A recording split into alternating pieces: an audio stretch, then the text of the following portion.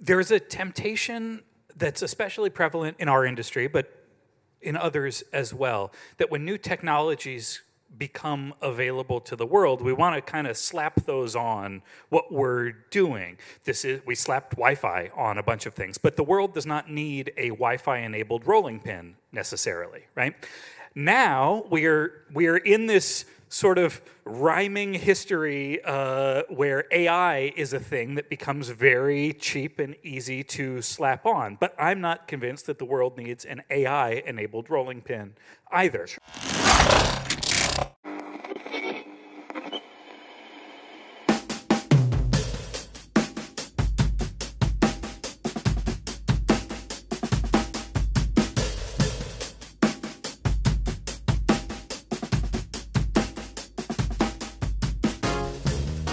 Everyone, this is Mike Wolf, and welcome to the Spoon Podcast.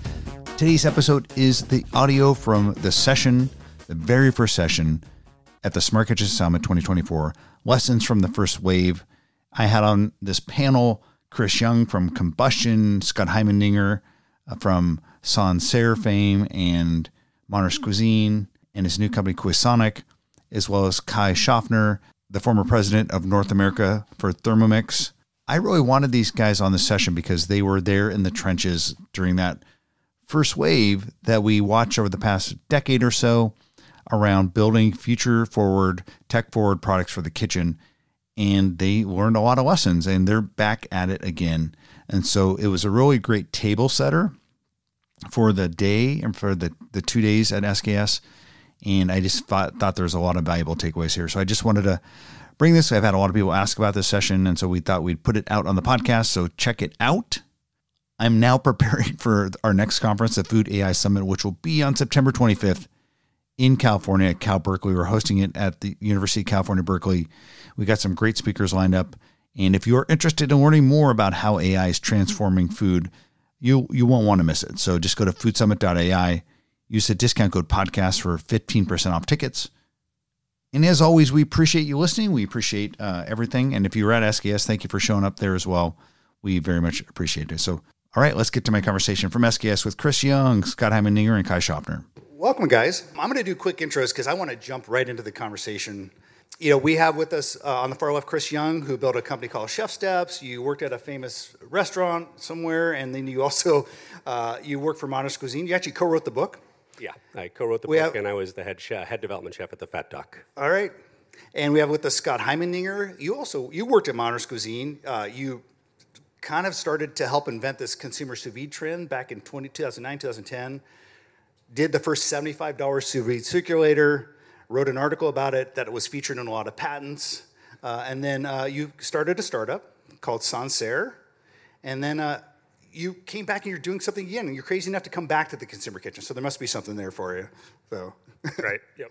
and Kai Schaffner. I would argue that Kai led uh, and helped build, I think, what was probably the most successful digital recipe platform with a connected device for Thermomix. You were kind of the guy who helped building that Cookidoo platform for Thermomix, and you were there at the very beginning. Yeah, that's true.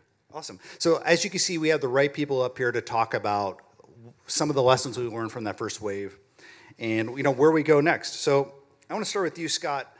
You know, you you were there early on, and you probably learned some things. You know, uh, you built it. You had a company. You did the you did the whole thing. You did the Kickstarter, raise funds, and then you did the startup, and then ultimately you, you had to close that down. And then as we were doing this prep call, we were talking about some of the lessons we learned. So, what were some of the things as you look back that you reflect on that you, you kind of think were some key lessons from that first wave? So I'll start with the thing that I think we did right. So uh, this this company was Sansaire, and as Mike mentioned, it was kind of born out of this article I put up on my blog for a $75 DIY sous vide machine. I had learned about sous vide largely from the work of the folks at Modernist Cuisine, but it hadn't yet permeated into the lives of home cooks, and uh, and certainly the devices themselves were unaffordable, and and um, there wasn't yet a lot of information on how to use those. But once I bit that off and built one for myself and started cooking this way at home, I recognized how awesome it made me feel about my own capabilities. I think that sous vide was successful not because of the technology or the way the physics of heat transfer work or whatever, but because a sous vide machine is a device that turns anxiety into confidence. So I think the thing that we did right was identifying a pain that lots of home cooks had and trying to design a product. We started with the price tag and then said it has one job, let's make it as simple as possible. Even though we're talking about the first wave, our device did not have a, a Wi Fi chip in it. Um, maybe, maybe that's something we did wrong. Um, uh, and uh, and we made a whole bunch of happy home cooks by addressing by, by basically trying to evangelize hey we want you to feel as good as we do when you're using this way of cooking at home and then what we did poorly was everything else That's it. Okay. Well, um, and we'll expound on those, I think, as we go along here. So, Chris, you know, you had ChefSteps, which I think at first you guys did content, I think, cooking content in a new and interesting way. And then you then married content with hardware in a new and interesting way. You had this sous vide circulator um, that also was interesting in that you had to use that for. I think that was a first. Also, you did this crazy thing where you actually did Facebook uh, commands. You could actually control your sous vide with Facebook, which is kind of crazy. Yep. Or, yeah, we, we were doing Chat GPT about five years too early. Yeah, too early, exactly. So don't spend the next 20 minutes because you could do that. But what are some of the key assumptions we made back then that we got wrong? Um, you know, so yeah, you're correct that ChefSteps was really an outgrowth of, of modernist cuisine. I'd been the, the principal co-author with Nathan. Uh, Grant Crilly, one of my co-founders, had been one of our, our development chefs there. Ryan Matthew Smith had been the principal photographer for modernist cuisine. And as hard as it is to remember today, in 2011, uh, modernist cuisine was done. We'd wrapped up the book tour, and YouTube was this very nascent thing. And we sort of recognized that three guys at a digital camera – could start creating you know interesting videos and you didn't need to create a book anymore which is laborious time consuming and really expensive you could build an audience you had distribution to the whole world and we started putting videos online and we very very quickly built a, a, a passionate audience uh, of people who liked our content and that is what started ChefSteps that is what i think we got right um, what we got wrong over time was understanding how content would evolve online. You know, the in a certain sense, our thinking was probably too wedded to the era of blogging and the idea of pulling people back to your website, pulling them into a walled garden of a sort, and and then attempting to monetize the content there. And I would say that that was ultimately self-defeating. That the content was really valuable for consumers discovering you, for you educating them about the types of things you could help them do in the kitchen. And then to the extent you tried to get them off the platform, um, the platforms made that harder and harder to do over time. The, to the extent you tried to get consumers to pay you directly versus monetizing the content indirectly, either through hardware sales, which we did later with Joule, or through you know the way the, the, the platforms have evolved monetization, which is ad revenue share, sponsorships, and increasingly e-commerce directly through the platforms that was a mistake because ultimately the revenue was fairly de minimis from monetizing content directly, but you also sort of shot yourself in the foot and took away a very efficient way of consumers discovering you, discovering your, your, your product. So I think you know, ChefSteps got into hardware because that customers were coming to us for sous vide content. Customers were coming to us to understand how to do some of these cooking techniques we created hardware to solve that. We married it with content to help solve that. But what I think we got wrong was the sort of engine of growth, which was content had an important role to play there, community had an important role to play there, and we sort of prematurely monetized that um, rather than saying that was a way of bringing consumers in. Selling them hardware um, was going to be the way you were going to monetize those customers. So Kai, like I said early on, I think you could arguably, the argument could be made that you built one of the most successful, I think, products in that first wave with Thermomix and that digital recipe platform. And so, with that in mind, you know, what were some of the, the, the lessons you learned about consumer behavior and their use of tech-driven tools in the kitchen? What what did you learn in terms of using recipes and technology driving that? I mean, cooking is not easy, and I would say 10 years later, when I cook, I make a lot of mistakes. I don't know how you're doing it, but we do a lot of mistakes cooking. And what we try to have is the best result ever, right? I mean, we measure like, you know, Chris would cook, others would cook, that's how we want to cook. So doing this, and when you look through the entire customer journey, or let's call it cooking journey, you can do constantly stuff wrong. And then you have a lot of technology. And the question is is it an obstacle? Is it making it even more difficult to get your result or less? And then you have, I think we talk a lot about tech. But food is emotional. Food, and especially when you cook yourself, you want to have recognition. So there's a risk in cooking. Just for yourself, it's very frustrating when you screw up your high level steak or whatever you're cooking. So there's a lot of risk in there, and you would like to have help right away in that step. And I think this is the part where we got a couple of things right, as you said too. You know, you said success made sous vide a great tool. And we have a lot of great tools, but how the hell I'm using it in that moment, in that situation? And then you have the components. You have hardware, you have a digital platform, you have technology, and you have an app. Does that make you successful? Maybe. Do I have just the spices at home? Can I deliver those things? Am I willing to put all the effort in in shopping? So there's a lot of things, and it's so easy just to take the app on DoorDash, right? So we're all kind of tired in the evening. We forgot certain things, and, and what I'm doing then. And I think the industry should help the people to have more things cooked at home to higher quality and also healthy. And I think we will talk about this. Because there's a lot of motivation there, what people like to cook. Yeah. And then we look at our skills, we look at our appliances, yeah. and then we kind of sweating how the hell we get there. And this is, I think, the willingness to pay. When there are good solutions out there who help you getting rid of the chorus and help you getting faster there where you want, you're willing to pay. And this, I think, is where you can make money. Uh, but it's not only the hardware. Yeah. So there are secondary revenue streams you can make profit from, but you need to get it right. And there is no, there is no shortcut. That's the problem with it. So looking back, you know, 2014 to 2020, it was a different time. we, you know, capital was cheaper. Uh, IoT and smart was fairly new. Uh, we had new things like Alexa voice interfaces coming online. Um, we are looking at software as a service business models and assumed we could apply that to a lot of different things.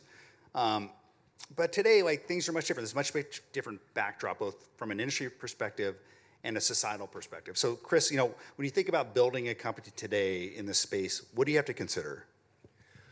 Uh, well, I'm, I mean, I'm actively doing it with combustion. So, you know, there are certain things that are vastly, vastly easier to build today than 2015 when ChefSteps was working. Uh, you know, there was, just on a software front, the amount of work eh, eh, we had to do to build an IoT platform to get connectivity working. And as you mentioned, we built a sous vide device that could only be controlled in a connected way. So connectivity was sort of uh, a, a must get right for us that was extremely difficult in 2016. It's not trivial today. There's still good and bad ways to do it, and there's still important technical decisions to get right. But it is vastly easier. It's becoming more of a commodity. At the same time, consumers have an expectation that it, it, it will work in a very reliable fashion. Um, and so I think when you look at things like connectivity today, you really have to say, is this where you're creating consumer value? Is this worth the expense? You know, people are like, we want Wi-Fi. Wi-Fi shouldn't, you know, the problem is what we've what we've learned is consumers aren't going to pay for Wi-Fi. You might be able to differentiate your physical hardware, but the idea that you're going to be able to charge them for digital services, which was an assumption we made in 2015, that's deeply, deeply flawed. Consumers won't pay for it, in my experience, and I don't really know anyone who's been successful in the consumer space doing it. And yet, I can put a number on. You know, it cost millions of dollars to run the DevOps team to support uh, Wi-Fi, to deal with weird routers that the Canadian government was giving out. All of the like I've seen all of that pain. It's very real. So we didn't launch combustion with Wi-Fi, for example, on on day one. Will we get there? Very likely. But I could put a number on it, and, and, and it's this funny thing of consumers aren't willing to pay for it. They'd like it, but they're not willing to pay for it, and it's a very, very real expense on your P&L and you have to go, is this the really big solve for, for consumers? And in 2015, we sort of assumed digital business models, that we would be able to sell the hardware at very low margins and make it back up on the lifetime value through digital services. That didn't materialize. That, you know, that was probably the most deeply flawed assumption in the early first round of IoT that I made, that several other companies that I know have made, and, and I think it's come back to saying you really need to understand how important is connectivity to your product. Is it enough to differentiate the hardware? You can command a premium and get the margin on the hardware because and knowing that will you be growing fast enough and will you have a large enough base of customers that's going to support the fact that you have to maintain that product for a life cycle? You know uh, the products i sell right now we're sitting there saying we're going to be on the hook for supporting these servers keeping them running 24-7 for years to come you know, what does that mean about the, uh, the company um, and how is it going to grow to support that? So I think that's sort of a, a, more nuanced model of you could sort of wave your hands in 2015 and say consumers will magically pay for this. And now it's like, well, that's really expensive and software uh, engineers aren't, aren't cheap. It's gotten easier to do the technology, but it's, it's, it's still something I think that a lot of people are making mistakes around yeah. today if you haven't got the scar tissue from doing it the first time. So, Scott, we were doing our prep calls. I do prep calls for all our, my sessions, and, and you had this uh, quote that I, have been thinking about ever since. Uh, you, you, said basically, to, in a sense, you hope this time around people center their innovation and their tools around what people really are doing in the kitchen rather than, hey, I know how to build a product, this will change the way people cook. Um, can you talk a little bit about that? Yeah. Uh, there's a temptation that's especially prevalent in our industry, but in others as well, that when new technologies become available to the world, we want to kind of slap those on what we're doing. This is we slapped Wi-Fi on a bunch of things, but the world does not need a Wi-Fi enabled rolling pin necessarily, right? Now we're we're in this sort of rhyming history uh, where AI is a thing that becomes very cheap and easy to slap on. But I'm not convinced that the world needs an AI enabled rolling pin either. Sure. I don't know. Uh, I hope I hope I haven't uh, ruined anybody's day in the startup showcase. Um, uh, instead, it, actually, it, one of my favorite things to do is to look back at the uh, videos that were produced for like World's Fairs and that kind of thing from the 50s and 60s and whatever. And you see this sort of graceful ballerina doing this effortless thing in the kitchen about making dinner so easy.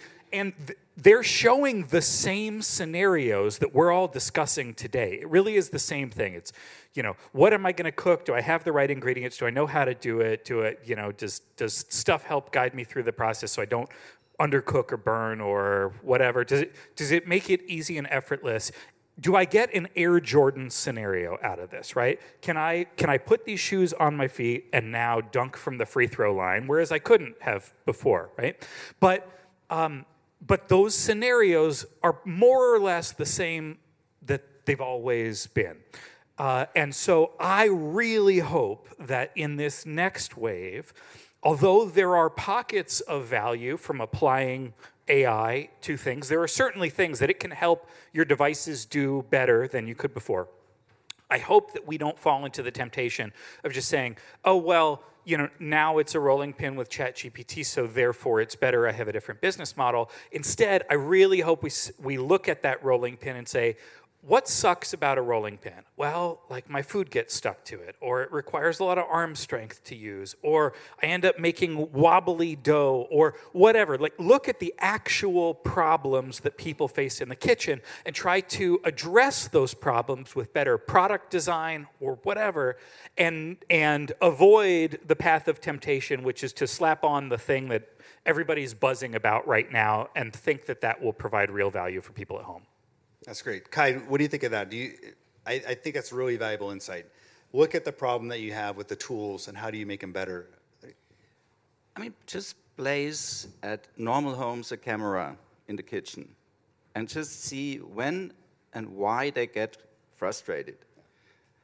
So we are product centric, we are channel centric, but we are definitely not user centric. And, and, and that's the key. I mean, why do people fail? Why they are frustrated? You know, when is the moment where I do not know how I should deal with this appliance or where to cook it, and I'm giving up. So there's a lot of frustration still in there when you look at it. And I think AI can help, not so much in the product. I, it's very close, very close to the user and saying, shit, I'm stuck. Help me, Siri, whatever, you know. And I think this is where we can get, get, get together because the share of what is cooked at home to a higher quality and healthier is where the smart part should get measured at. So we are not smart, in my mind, if we can't enable to cook more and better. And this is really what happens in the kitchen is not what, what my dream is when I bought it, right? So I, I have, I mean, and, and when you look what you're really cooking, I mean, we may cook 50 50 dishes. That's what our capability is, maybe rather 25. And that's what I need to cook at certain times because my kids are hungry, they're coming home. So this is the starting point. It's not the dream of the 412,000 other recipes I could cook. Yeah. It is just what do I cook and which appliances can do the best in my kitchen. And the customer need a little bit of help there because the technology is there, but we need to enable them now, I think. You know, Chris, when I look at your new product, I, I, I have your combustion thermometer. I really like it. And I, I just noticed some differences from your previous product. It's not that the, the, the ChefSteps was. There's a display. yeah, exactly. Thank God. Um, so uh, it's also super low. We learned. Super low friction in the fact that, like, I don't need to register anything. I don't need to send my email to anyone. There's, you know, I don't need to download an app from the App Store. It's just frictionless in a way. Like, was that one of the key takeaways for you?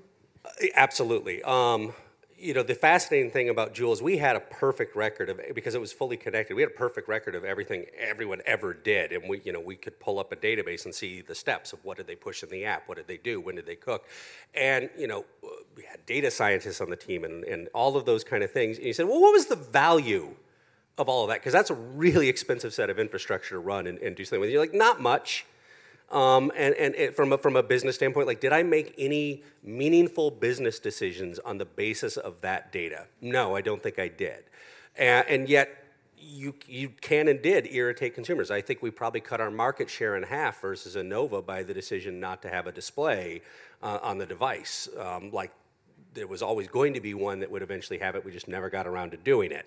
Um, with combustion, there was a few things. One, connectivity has to work 100% of the time. So, you know, I made some unconventional decisions with how we do Bluetooth to get rid of the pairing process, where our thermometer just always advertises its data, and anything that uses the we have an open source protocol, so any app that knows how to listen to that could see the temperature. And you're like, well, isn't that kind of insecure? Not really. I guess maybe the neighbor could know what the temperature you like your for steak. Your, the temperature of your turkey. But but from the consumer business, the average connection time is 600 milliseconds. It feels instant, like you're just hitting an on button, making you go through a registration process. And I just did this with some apps I won't mention that are made by people in this room, where you know I'm qualified to create these apps um, but I wasn't qualified to get through registration because dumb things like I have a combustion.inc email address that is not recognized by their system, so I could not finish registering to their system and had to create a burner email address. These are really annoying consumer friction points. If I did not have a really good reason to want to use that app, I would just never have connected. And and you know it wanted my phone number and it wanted my email address and it wanted my physical address and just to be able to see is there any value in this app? And it's like well that's a bunch of bullshit. Um, and i think it's you know i can see you know, i can imagine being in the meeting where that decision got made of like well it's better to grab all this data but you're losing sight of the customer centric approach to this. And so yes with combustion we said there may be things in the time where we do have to ask accounts created because there's no way around it. Um, Wi-Fi would force that issue, but consumers just want to use the product. They paid for it. They want to have an experience, and the most valuable thing is for consumers to use your product the first few times and get a great outcome with it because they will tell their friends. It makes your marketing more efficient. It makes it easier to, to, to sell the product, and that's what you're really in the business of. And this problem is very true I point the finger for this problem at the funding sources for some of these companies. This is a direct result of these companies being in, enclosed, let's say kindly, in a funding model that expects software as a service like returns. It expects venture capital style returns where you have to have all of the customers' demographic information because you're going to try to monetize all this stuff because those styles of funding are not set up to be sustainable where uh, where the model is. I make a widget, you buy it for more than it costs me to make, and then maybe you buy another one again in a few years and, and you're happy right? That's it. That's that is the model of regular consumer hardware that if when i buy a rolling pin I'm, we're, we're going to start the rolling pin industry today. Um, that's how it works. I go to the store i buy a rolling pin it's great i'm happy. But that does not work for venture capital. Uh, and that i think is the origin of a lot of this funkiness a lot of the software business like stuff that permeates because you're forced to.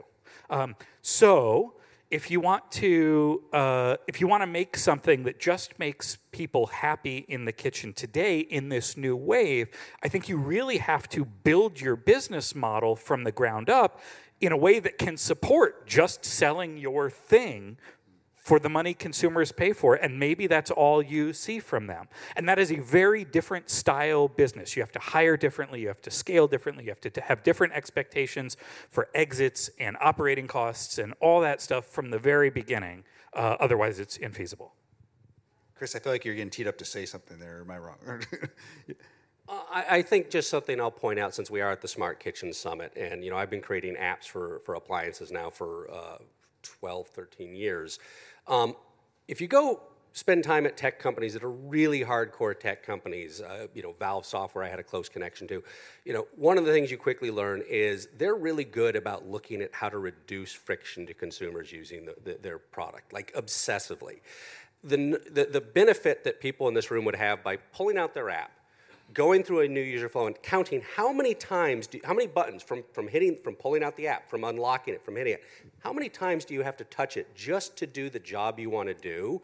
It's shocking to me, absolutely shocking to me how bad that is for everyone. And everyone has a perfectly rational explanation for why it needs to be that way, but it doesn't. I want to uh, make sure that we have a hopeful message up here because you guys aren't gluttons for punishment. You came back and you're doing it again. So you have a passion for this space.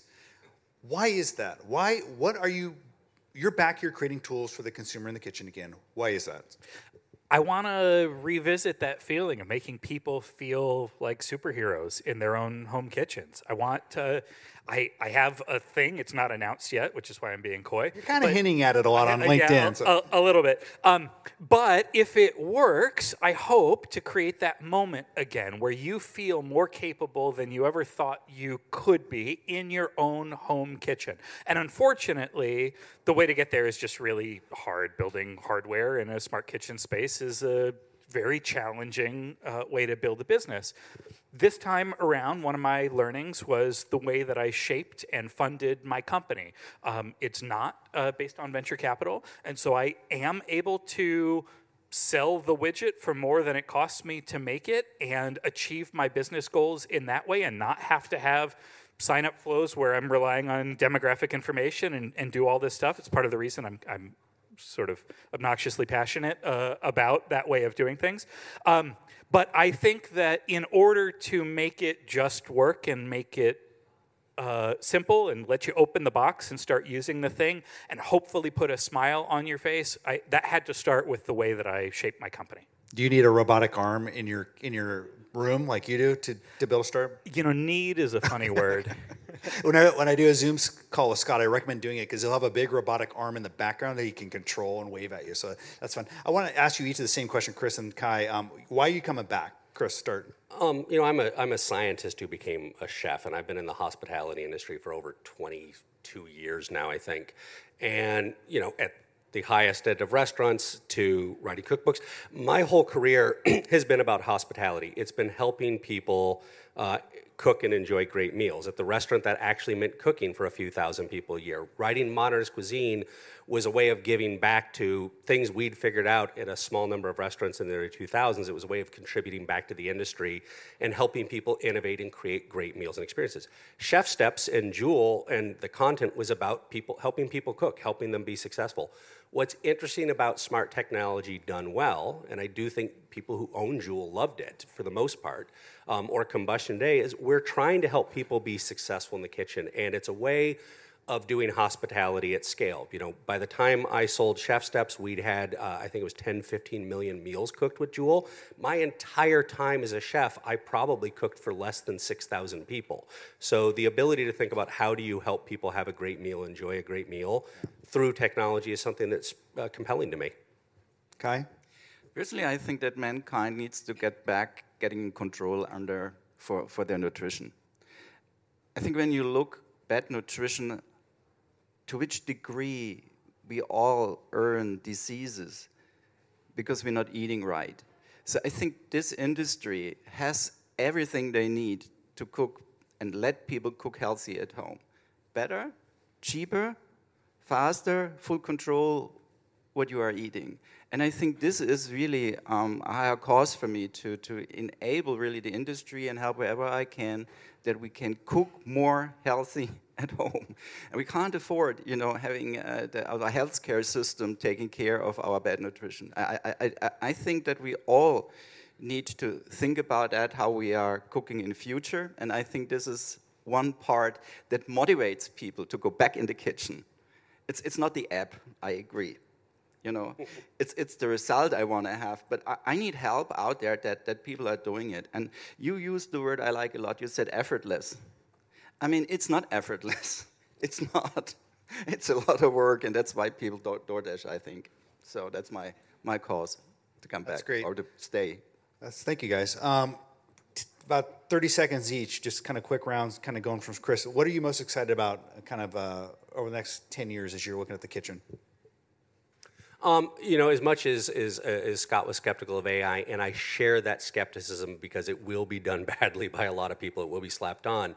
Uh, the, the reality is there are problems that I worked, I worked on going back 10, 15 years that were intractable and unsolvable at the time. You made fun of our, our, our Facebook chatbot, but the idea of a command line interface where humans can say, This is what I want to do, generate a recipe on the fly that works with, like, these things are actually doable now. And so there are cases where I think technology applied judiciously and intelligently around what is the person actually trying to do and can you solve that problem.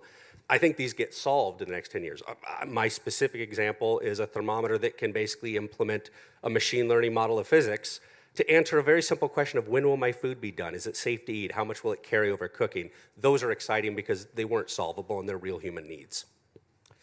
I, I'm excited about broad advancements in science that will find their way into the kitchen. AI is part of that story, but I'm also excited about the way that bioengineering will produce new and novel ingredients or more nutritious food, longer shelf life, that kind of stuff. These are long term things, uh, but I, I kind of can't wait for that version of the kitchen in the future. Awesome. The Star Trek uh, food replicator? Yeah, yeah or, Okay. or six hour lettuce. That's, uh, that's my big pitch, yeah. Kai? I- I would hope that AI gets more to the user and not so much into the appliances. So AI can listen, and I hope they can enable. But we need to ask the consumer what they want and not just tell them to use what's there. Well, I wanted you guys on stage to kick this off because you guys have been there and I, I respect all your opinions. Um, give these guys a big round of applause. I think it's been a great session. All right. Thank you, guys. All right, that's it. I hope you enjoyed it. That was a great session, and we will be sharing more of the sessions, the audio from the sessions at SKS. We had a lot of great insights flying around the room during those two days at SKS. We want to share more of those with our podcast audience. Like I said at the top of the show, if you are interested in how AI is changing food, and it definitely is, you'll want to go to the Food AI Summit. Just go to foodsummit.ai, check it out, use the discount code podcast for 15% off tickets. All right, we will be getting back at our regular schedule with a SKS in the rearview mirror. We will be having a news wrap up show with Carlos and I this week, so keep an eye out for that as well. So, this podcast was brought to you by myself, Michael Wolf, and The Spoon, and is part of the Spoon Podcast Network. We will be having more news on podcasts very, very soon. So, if you're interested in podcasts and food tech and all that great stuff, uh, keep your eyes peeled keep your ears peeled. What do you? I don't know what you keep peeled. Keep your eyes and ears open, and uh, we'll hopefully have more news for you very soon on that regard. So that's it. We'll talk to you soon.